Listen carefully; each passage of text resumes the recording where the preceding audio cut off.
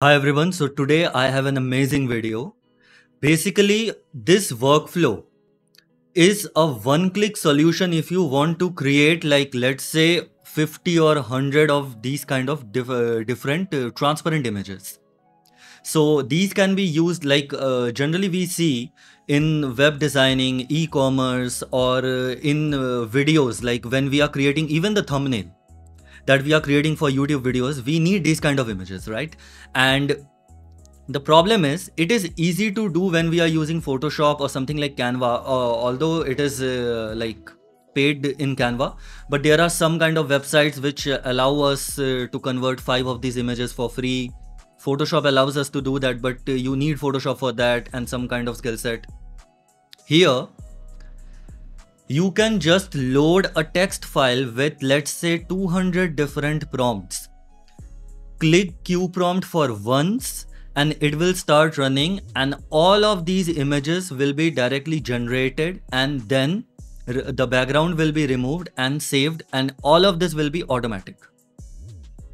Also, I have a bonus workflow where you can uh, select any folder with your own images and you click the Queue prompt once and it will remove all the uh, background from that particular uh, the, those images in that folder and save them. So I'll come to that uh, later. Here you can see there are two ways to load this prompt, right?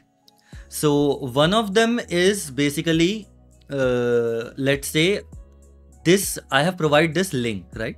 So in this link, when you go to this particular like folder, you can create a text file and in the text file you can put let's say 100 prompts. How you can put the prompts?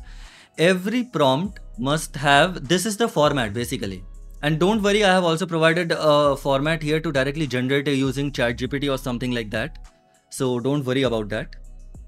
Here you can see there is a positive prompt there is a negative and flux although doesn't use the negative but we need because the nodes uh, demand it you see these hyphens, right?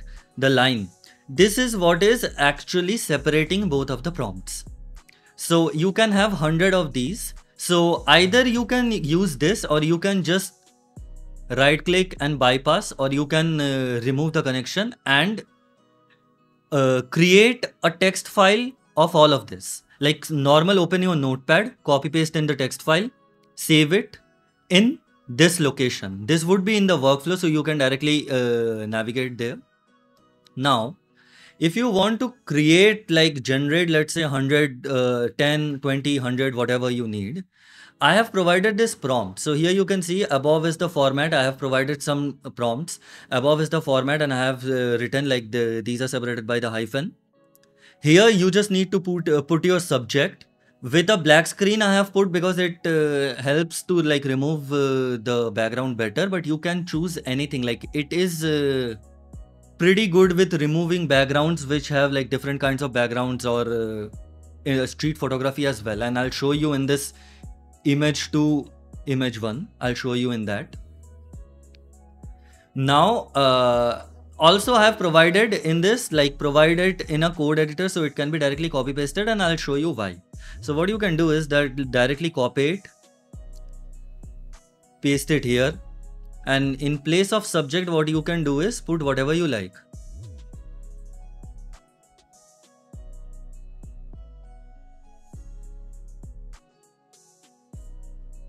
I have put gorgeous woman in red dress and now when I run it, you can use the chat GPT or anything as well. I am using perplexity.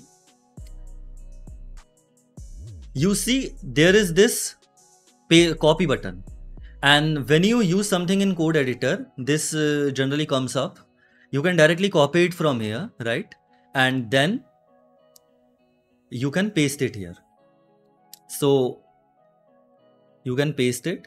Now this has 10 i have provided 10 you can generate how much you want now i would not be uh, generating that much because i'm just showing an example. So what i'll do is that i'll remove all of this. So these are four prompts here. Uh, i think we don't even need four. Like let's keep it to three. So we have three prompts. Here you can see gorgeous woman in red dress and gown and everything is there. And we'll uh, if you are using this then it doesn't matter what uh, is the prompt file it will always take uh, the prompts from here. And if you don't have this if you delete this then you can directly use the prompts. So now here I have provided two options. You can basically select any of these. So the photo illustration one is when you are uh, when you want to have uh, somewhat uh, smoother edges. You can see in this particular image, for the hair and everything, the edges are slightly smoothened out and not that jaggy. If you want that, this is the best one. For some particular images, like uh, you would have noticed stickers which have uh, kind of white thick borders. I have seen that this kind of smoothens it out a little bit much. So you can use this one, hard borders or edges you can use the second one and here you can change the threshold and everything. So I would be using the first one because this is a photo and in photo it is always better to use smoothing edges. Now I'll just run this. So as you can see the generations are complete and these are pretty good. Like when you compare this obviously uh, you need to be more specific if you want close up or anything in that particular prompt so that all the prompts are generated like that. Because the prompt has flowing gown and stuff like that these are full body images. And as you can see the removal of the background is pretty good and even in the edges it looks like a slight shadow but it doesn't look bad at all. And remember you can click on these and these are all separate images basically. Like this is not one single image. And all of these will be saved in your output folder and that too in one click. So you just run this you do your work keep it uh, keep this open and it will keep on generating. Now one thing you need to remember.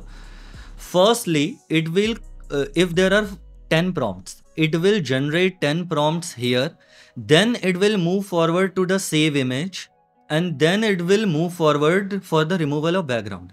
So you would not see that one image is getting generated here, then it goes to save and then the background is removed. So don't worry. Maybe uh, like uh, initially I was also thinking that it is stuck here on loop, but it is not the case. Let it run completely this uh, sampler. Then all of them will be saved uh, at once and all of them will go for the removal of background. Now here, as we are done with this, we'll, here I have provided another like switch. So enabling the second one, first one, this all gets uh, like disabled, muted. Here in this folder section, you have to put the location of any folder which has your desired images. So if you want, if you have 100 images, you want uh, like uh, the removal of background. So put them in any folder, copy the location, put it here. Don't change anything else. Here you can see I'll just queue the prompt. So it will run and you will see that uh, and this is real time. So uh, this is real time and you'll see how fast it is. Uh, this is 8 GB VRAM version of uh, 4060 RTX.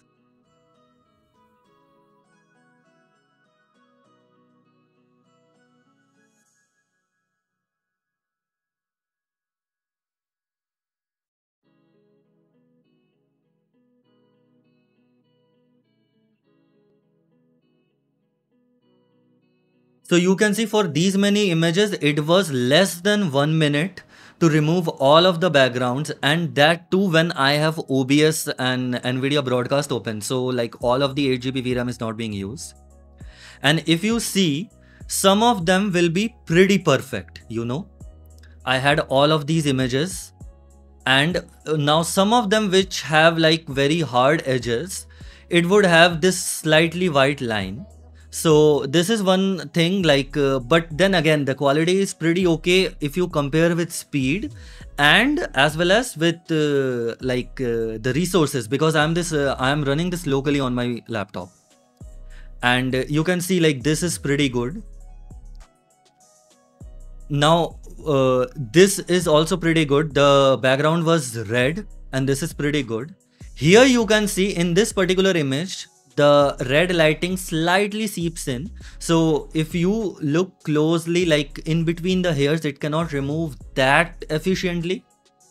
So again if you have uh, images against black background or uh, let's say like white background it works best. Even in this white one you can see like it has tried to remove this was against a white background but uh, it uh, kind of removed and smoothened out uh, the edges so it was pretty good. So all of these and uh, it can even you can see like this belt. It uh, also analyzed this belt. So this is pretty good in like foreground detection. So yeah this is it. And if you have any kind of doubts or suggestions please uh, comment down below and i'll try to reply as soon as I, uh, as soon as possible yeah thank you